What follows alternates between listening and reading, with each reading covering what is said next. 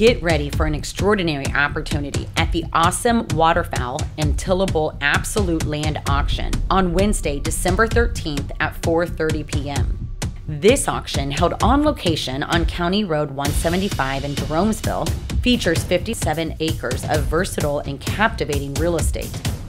This is your chance to own one of the most intriguing and unique properties available. The 57 acres offer a blend of controlled flooding and drainage, creating an excellent waterfowl management opportunity.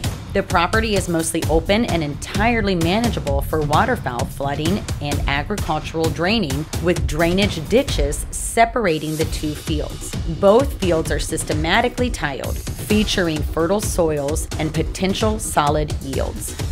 Access to the main tile lines allows the addition of caps and risers for shutting off field drainage. With a simple turn of a fitting, you can start the flooding process, transforming the area into an ideal duck and goose habitat. Impressively, the systems in place for managing this property require zero electricity, making it a low maintenance, high reward investment. Whether you're looking to drain the land in the spring, plant crops, harvest, and then flood, or turn it into a year round waterfowl oasis. The possibilities are endless.